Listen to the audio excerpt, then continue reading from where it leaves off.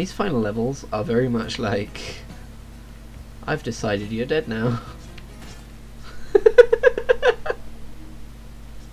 Speaking of which... Okay, that was dumb. I shouldn't have just fell there. Let's focus. But you see my problem, right? If I